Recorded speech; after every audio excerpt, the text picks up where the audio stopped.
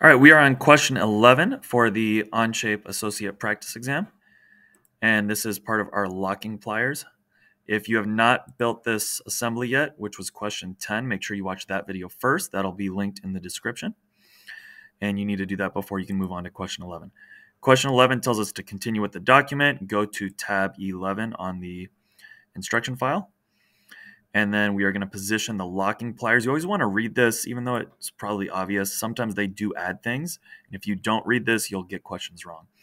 So we want to position the locking pliers so that they are parallel as shown in the instructions. So we want basically the shorter surface on the lower handle to be parallel with the upper surface on the uh, upper handle. And I'll just warn you guys, I'm probably going to get an error at some point because of this limit uh, we may want to turn this off if we get an error. So I am going to do the parallel mate, and we will do this upper surface right here with, we're just making these faces parallel, right? Okay. And we're gonna hit the check mark. And yeah, sure enough, it looks like we got an error. I'm gonna hit the check mark. If we see all this red, I'm gonna actually just double click this and take off the limits. Hopefully that fixes it for us. And yeah, that did. So now if I kind of go here, I can't drag anything because we forced those two surfaces to be parallel. Okay, and they want us to measure this distance right here. So what we are going to do is use this measuring tape tool. And I like to actually click on my view cube. I'm going to click the right just so I get it centered. I'm going to click from this point here, that corner, to this corner over here. And we'll notice, you know, the x distance is actually, we can't see it right now but the x distance would be, if we hover over it, kind of side to side, which is zero. So we're not seeing it at all. The y distance is in our picture left and right, and the z distance is up and down.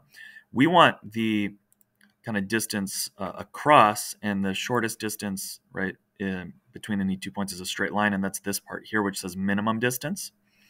So the minimum distance, that's what we wanted which is this part here. On a lot of these, we're going to just choose the minimum distance option. So 27.510, and that is our second choice. All right, next up we have question 12. So we're going to continue on. It says position the locking pliers to be in a partially open position as shown. And they showed these two uh, surfaces to be parallel. And then we're going to use mate connectors again to evaluate mass properties. We want to use that same mate connector as we did before, and they're asking us for the y direction of the center of mass again.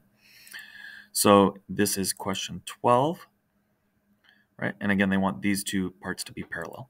So what we are going to do is we're going to get rid of that guy, and we need to go down here and uh, take this parallel that we just made, and we're going to right-click this and just delete it. We no longer need those to be parallel.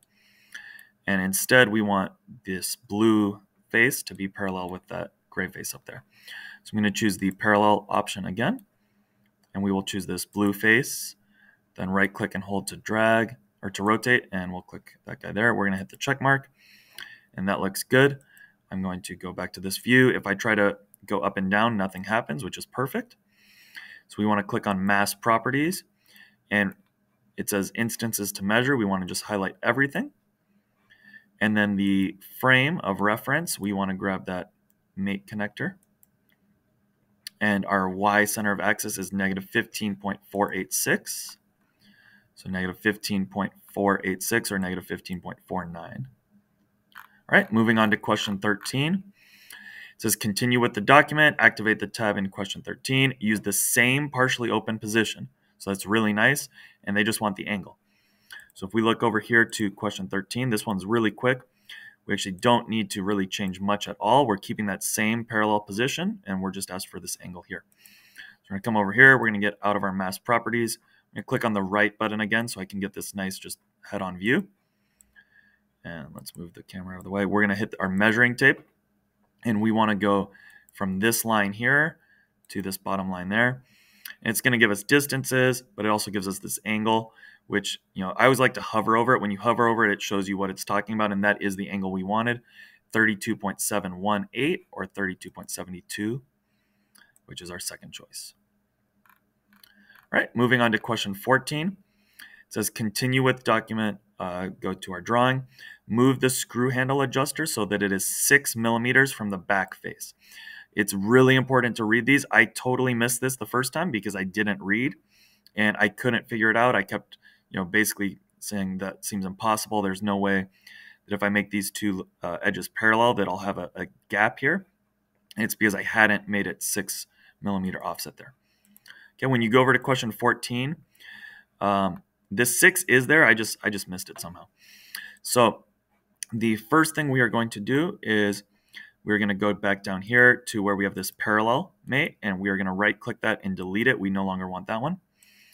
And we want these guys to be parallel, but before I do that, I want to make sure that this is offset by six. So if I click on this guy, this screw adjuster over here, um, if I kind of highlight over these, actually we can do it more this way, right? This this is the screw adjuster. If I highlight over these like cylindrical mates, uh, planar mate, right, revolute mate, um, parallel mate, planar mate, that's the one I wanted. That planar mate was where I connected this surface with that surface. So if I double click on this one, I want a six millimeter offset. So if I come in here and I hit six, I like to just kind of click out here. That's actually the wrong way. So I want to make this negative 6. When you're doing these, uh, positive is one direction, negative will be our other direction. So we want negative 6. I'm going to hit the check mark. And what that actually does is now when we go up and down, and that's a little bit too much. This is why we they asked us to put in limits, and so that didn't happen. Um, now when we go up and down, these are further spaced apart. Okay? So we want to make these two edges parallel. So I'm going to go to our planar mate and hope we don't run out of battery. And we're going to come in here. We want this top surface with this surface right here, this face. We're going to make those two parallel. Hit the check mark. Come back up here. That's how I want it to look. It does not move up and down. It's locked in place. So we're going to go back to the distance measuring tool.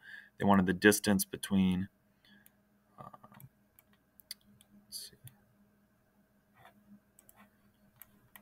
There we go. We wanted that distance right there. And it's the same thing. It's that minimum distance, 12.23. So 12.23, that first option is our choice. And then finally, it says continue with the drawing. We're going to use that same 6 millimeter offset. We're going to leave that.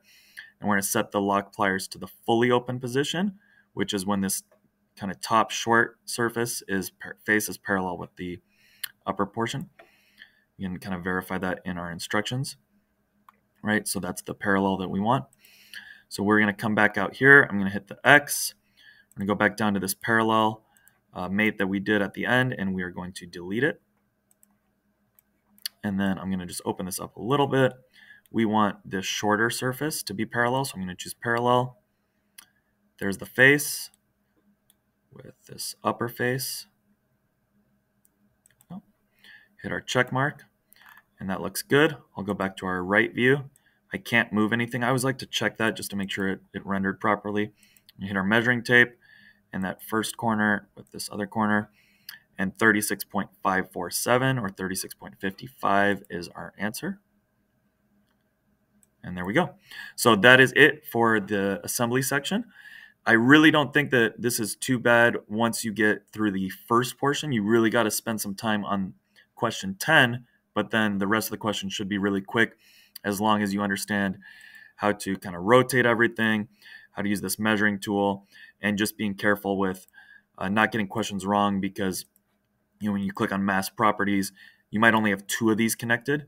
You want to maybe like hit this X and make sure that you got everything connected. And then again, same thing. If they were asking me for the Y center of mass, realize that's from the origin. That's going to be different for every single person taking the exam. You need to change this reference to the reference that they asked for. And now we can get a proper, you know, Y center of mass from their reference point. Okay, so I hope this video helped you. Feel free to leave any comments and good luck on your exam.